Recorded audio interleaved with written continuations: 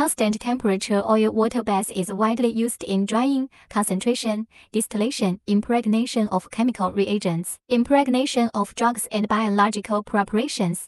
Its main features are the studio water tank is made of stainless steel with good corrosion resistance.